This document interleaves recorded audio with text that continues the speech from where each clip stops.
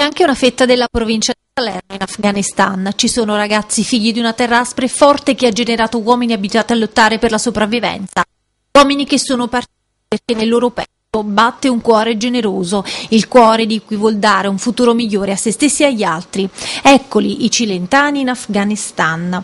Gianfranco Nitto di Buccino, Massimiliano Galietta di Castelnuovo, Giovanni Veltri di Torre Orsaia, Sara Paradiso di San Giovanni a Piro, Fabrizio Dessi di Pioppi, Luigi Gallo di Stio, Gaetano De Leo di Vallo della Lucania, Domenico Salzano di Ponte Cagnano, Casimiro Franza di Eboli. Fanno parte della Task Force Center, circa 500 uomini, gli ordini del colonnello Francesco Randagio. Si ritrovano insieme con la nostalgia di casa. Dopo un'intensa giornata, raccontano, fredda per la stagione invernale, passata a svolgere i nostri incarichi, c'è chi fa l'autista, chi il fuciliere, chi il meccanico, chi il cuoco, ci siamo ritrovati davanti al piccolo bar dell'avamposto per consumare tutti insieme una bevanda calda. In questi momenti, tra commilitoni appartenenti a diversi riparti in Italia ma impiegati nella stessa task force in Afghanistan, ci si racconta delle esperienze diverse, quelle che fanno crescere professionalmente e umanamente.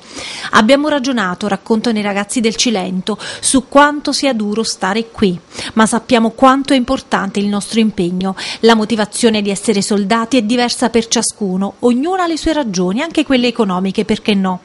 Alla fine ci siamo detti che la ragione principale di tutti è il gran desiderio di servire un ideale di pace.